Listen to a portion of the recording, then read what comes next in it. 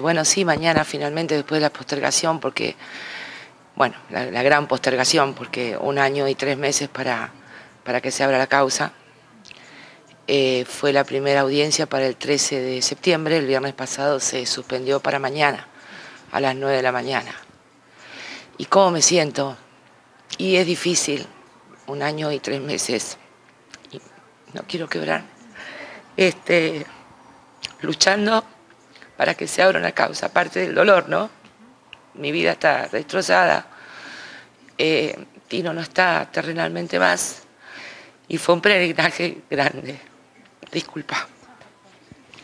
Este, pero eh, muy agradecida a todos los organismos de derechos humanos de Chubut, a la Secretaría de Derechos Humanos de la Nación, a los senadores Ignacio Torres y, Edith Terenzi, este, y a la PDH Noroeste de Chubut, Chubut y Nación, que se presentaron como querellantes, aparte del acompañamiento, mil disculpas, aparte del acompañamiento constante y, la empatía, que no es fácil encontrar en estos tiempos, eh, la Secretaría se presenta como Amigos Curiae, APDH como querellante, el Senado de la Nación con el proyecto de los senadores Terenzi y Nacho Torres este, van a seguir de cerca la investigación y se aceptó por unanimidad, que es muy importante eso porque la violencia institucional no tiene que tener banderas políticas, es un, tema que atraviesa a todo el mundo. Así que bueno, eh, lo sorprendente es que se demoró un año y tres meses en esta lucha, no todos los que te nombré ayudaron, no es un logro propio. Yo no paré desde el 27 a la noche, cuando ya hice la primera denuncia, pero sin ayuda de todos no lo hubiéramos logrado, pero hay que clamar, hay que rogar justicia en este país.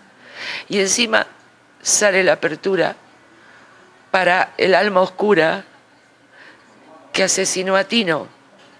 Pero ese nombre lo teníamos en junio del año pasado, yo por, por, por, por prudencia no lo dije hasta que no lo diga el fiscal. Entonces, ¿por qué se demoró 15 meses para algo que sabía en junio? Yo contraté un perito privado, Enrique Pruger, que presentó en tiempo y forma eh, la pericia en octubre. Así que bueno, eso es la situación. Se abre la causa, eh, yo entiendo que hay muchos, hay una cadena de errores por acción y por omisión que no están siendo contempladas en esta apertura de investigación. Y como siempre digo, porque, y también aclaro, debe ser el dolor que me atraviesa, que digo unas metáforas rarísimas, como que vivo en un gueto que se llama Chubut, o, por ejemplo como que esta alma oscura no estaba cortando el pasto en casa. Alguien, este, muchas, muchos errores y omisiones en diferentes ámbitos, administrativos, judiciales, policiales y quizás gubernamentales, llevaron a ese disparo. Y eso es por lo que yo voy a luchar ahora. Ahora luché por la apertura. Bueno, luchemos ahora para que no haya cosas tapadas, para que no haya nada encubierto y para que todas estas sospechas que hoy me dieron la razón, esperemos que las próximas se cumplan, ¿no? Eh, entenderás que Tino no va a estar más terrenalmente, pero eh, yo que debe iba por eso debe ser, porque la varita que podría haberme dado a mí también, ¿no? Entonces eh, voy a luchar por eso, mi vida es para eso, ya está, igual mi vida está destrozada. Pero Tino no se puede defender. Y, y más allá de Tino, que es mi problema, ¿no? Mi dolor para la sociedad que mira para otro lado. Este, nosotros con Tino estas cosas las veíamos por televisión. Entonces creo que para que no vuelva a suceder nunca más, también. Y como te digo, que paguen todos los responsables, todos, desde el más chiquito, desde la responsabilidad más pequeña hasta la más grande, con todo lo que, con las penas que contempla nuestro código penal, pero todos. Esa es mi lucha. Las primeras campañas las hicimos digitales con change.org, dirigida al presidente de la Nación, siempre hay que dirigirla a alguien, ¿no? No tuve respuesta del presidente de la Nación.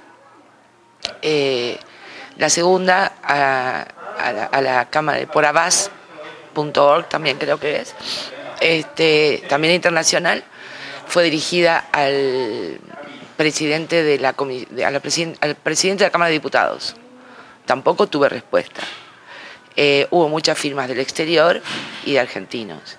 Y, ya la causa de Tino, o sea, el, el reclamo de Tino ya está en organizaciones internacionales, a la espera. ¿Por qué a la espera? Porque me dijeron, y entiendo que es así, que primero tenés que agotar todas las instancias en tu país. Es lo que estoy haciendo, Poder Ejecutivo, Poder Legislativo, Poder Judicial. Tuve respuesta del Senado de la Nación, Poder Legislativo. En cierta manera tuve respuesta del Ejecutivo a través de la Secretaría de Derechos Humanos de la Nación.